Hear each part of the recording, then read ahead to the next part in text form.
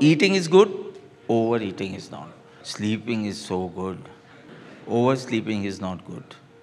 But the most important thing is thinking is good, but overthinking is not good. Ati sarvatra varjit.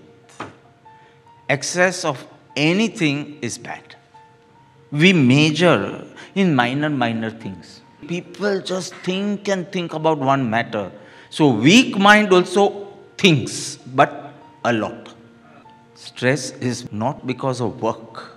Overthinking causes stress. So don't blame, don't criticize, don't go into guilt, don't be very, very negative. So overthinking paralyzes you.